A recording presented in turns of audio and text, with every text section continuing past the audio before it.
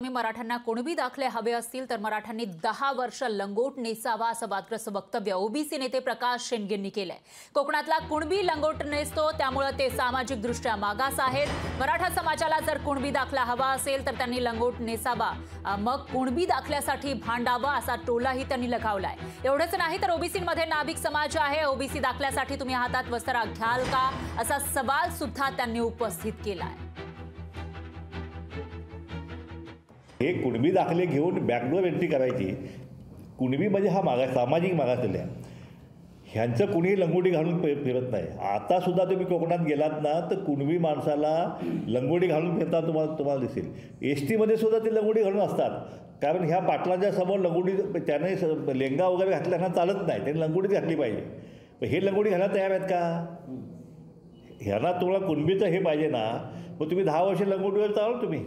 आमच्या मेळाव्यांच्यामध्ये ब- नाभिक समाज आहे बांधव भाषा ते आम्ही आता पिढ्यानपिढ्या आम्ही हजामत करतो आहे आणि मग आम्हाला सामाजिक मागासलेपण आवश्यक मिळतं. आहे मग ह्याचे भोग तुम्ही भोगणार आहात का? तुम्ही हातात वस्त्राला घेणार आहे का? तर तर नाही म्हणून तुम्ही तुम्ही उच्च ब- उच्च समाजातले हे आहे. तुम्ही क्षत्रिय आहात. मग तुम्ही ह्याच्यामध्ये कसं यायला आहे तुम्हाला वस्त्र घ्यायचं घ्या. तुम्हाला आणि विशेष म्हणजे आज मराठा समाजाला आवश्यक आहे की नाही हा माझा प्रश्न आहे. आणि याविषयी अधिक माहितीसाठी आपले प्रतिनिधी सचिन बडे हे थेट आपल्यासोबत सोडले गेले आहे सचिन काय सांगाल?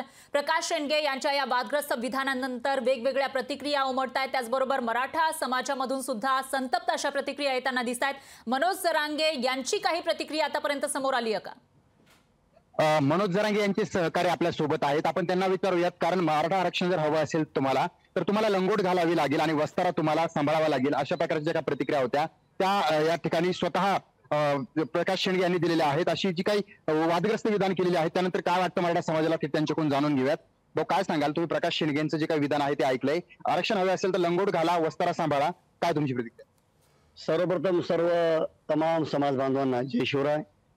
सर्वप्रथम यांनी जे प्रकाश शेंडगे जे वक्तव्य केलं त्याचा मी निषेध करतो. दुसरा विषय असा की मराठा आरक्षणाचा लढा हा अंतिम टप्प्यात आलेला आहे.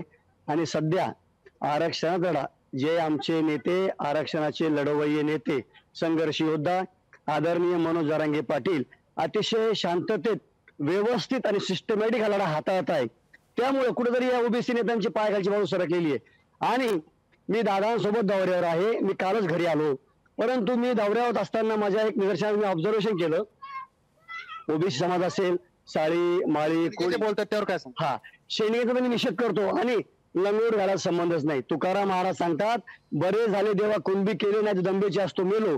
कुणबी म्हणजे शेंडग्यांना काय सांगायचं आहे की जो जो व्यवस्था जाती पडलेला आहे तो वस्त्र हा नाभिक समाजाचं प्रतीक आहे. त्यांनी ते कटिंगदारी करून उदरनिर्वाह चालवतात म्हणून ते वस्तारा सोबत घेऊन फिरतात.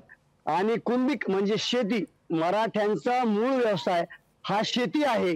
आणि आम्ही हातात नांगर घेऊन फिरू. प्रकारे? सांगितलं की आमच्याकडे शेती आहे आम्ही शेती चालवतो. भाऊ, तुम्ही काय सांगाल निश्चितच. थोडक्यात? की सध्याची परिस्थिती आहे अशा प्रकारे विधान केलं जातं शेंडगेंनी हे दोन समाजात तेढ निर्माण करू नये. निश्चितच शेंडगे हा सचिन उपद्रवी मराठा प्राणी आहे. आंदोलकांचं नेमकं जर काय म्हणणं आहे लंगोट की घालायचं माझे नसेल, मनोज रांगे पाटील यांचे साथीदार नेमकं काय म्हणतायत त्यांच्या भावना आपण जाणून घेतलेल्या आहेत. अं, दरम्यान धन्यवाद तुम्ही दिलेल्या या सविस्तर माहितीसाठी. तर स्वतः मनोज रांगे याविषयी काही प्रतिक्रिया देणार का तेही पाहावं लागणार आहे. लोकशाही मराठी. ऐका पहा जागरूक रहा.